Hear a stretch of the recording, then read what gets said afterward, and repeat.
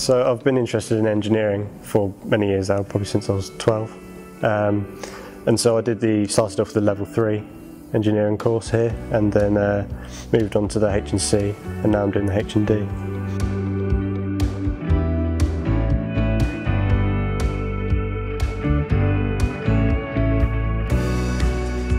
So I'm, I'm into design and CAD, so that's what I enjoy most. So my uh, project is really interesting to me. So I like 3D printing and I like design and I get to integrate both of them in one unit um, and put everything that I've learned in other units into one place.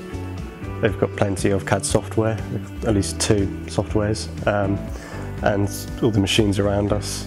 Uh, so there's a really big uh, range of facilities that are useful in engineering.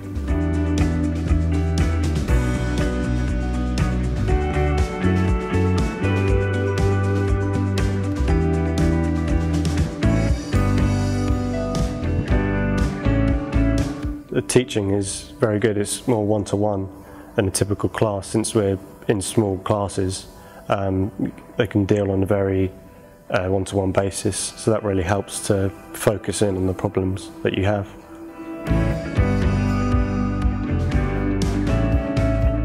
It's attractive to employers um, and it does give you a very good idea.